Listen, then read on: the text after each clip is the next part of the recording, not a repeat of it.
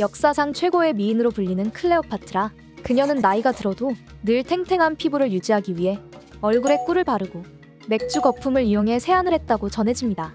우리에겐 폭군으로 알려져 있는 네로 황제, 그의 아내 포페아 역시 하루에 7번 당나귀 우유로 세안을 하면서 눈가 주름 관리와 피부 탄력에 신경을 많이 썼다고 해요.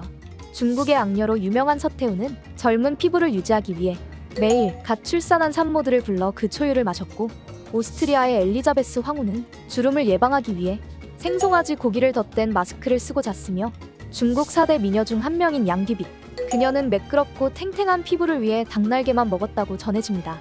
역사 속 사람들의 안티에이징에 대한 집념은 거의 광적이었다고 말할 수 있는데요. 이런 집념은 18세기 영국에서도 기록을 찾아볼 수 있죠. 18세기 영국의 한 피부 관리실에서는 이마에 주름을 펴기 위해 기름 먹인 천조각을 이마에 붙여주었다고 하는데요. 과거에도 많은 사람들의 관심 한가운데 있던 안티에이징, 그중 오랜 시간 사람들에게 주목받던 강력한 안티에이징 성분이 있었다는데요.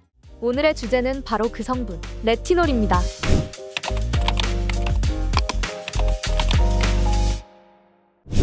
레티놀은 기원 전 1500년 전 이집트 역사에도 등장한 바 있는데요.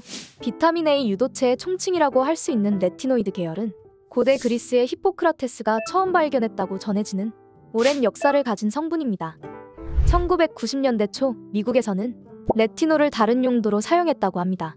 그러던 중 레티놀을 바른 피부의 탄력이 차올라 주름이 개선되는 걸 발견하게 된 거죠.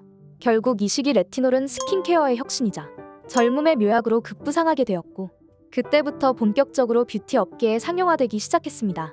현재 식약처에서 고시한 대표적인 주름 개선 성분이자 CNN에서도 꼭 사용해야 할 안티에이징 성분 중 하나로 레티놀을 꼽기도 했는데요. 그럼 레티놀은 어떻게 주름을 개선시키는 걸까요?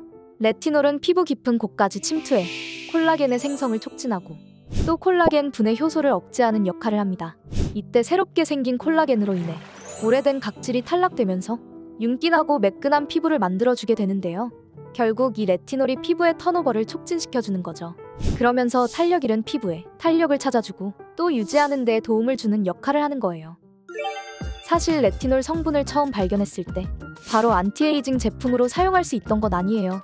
레티놀은 빛, 산소 등 여러 외부 환경에 취약하고 적정 함량을 넘어 피부에 사용하게 되면 붉어지거나 각질이 일어나는 등의 피부 자극을 유발할 수 있기 때문에 성분을 안정화시키는 게 우선이었죠. 아이오페에서는 1994년부터 레티놀 안정화에 대한 연구를 시작했다는데요. 그 결과 드디어 1997년 마침내 레티놀 안정화 기술 개발에 성공하게 되었죠. 그 후 출시된 레티놀 성분 제품들은 인기가 치솟았고 많은 사람들에게 주름하면 곧 레티놀이라는 강렬한 인상을 남기게 해준 거죠. 그리고 꾸준한 연구로 레티놀의 세대는 계속 발전했으며 이제는 바르기 까다롭기로 유명했던 레티놀 성분을 언제 어디서나 원하는 만큼 바를 수 있는 제품까지 더 세분화되었답니다. 내 피부에 더 맞는 제품으로 골랐으며 피부밀도 탄력을 챙길 수 있게 된 거죠.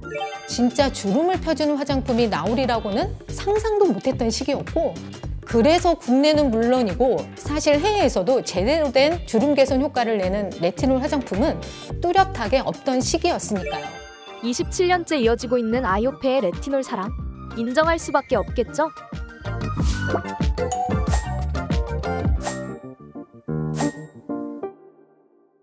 어떠세요? 오랜 역사를 가진 레티놀과 함께 피부 탄력 되찾을 준비되셨나요? 그럼 다음 시간에도 여러분의 피부를 책임질 안티에이징 정보 들고 찾아올게요. 혹시 더 궁금한 부분이 있다면 댓글로 남겨주세요.